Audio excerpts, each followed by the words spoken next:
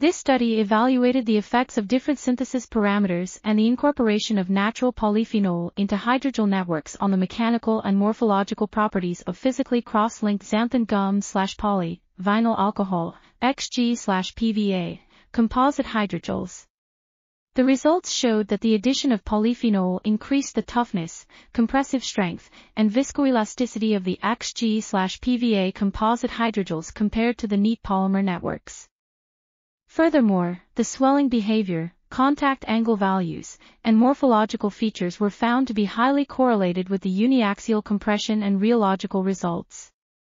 Additionally, the compressive tests revealed an increase in network rigidity when more cryogenic cycles were added.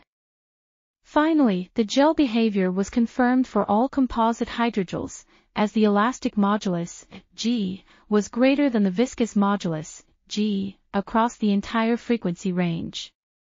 This article was authored by Irina Elena Raschip, Raluca Nicoletta de Renita, Nicusor Fifere, and others.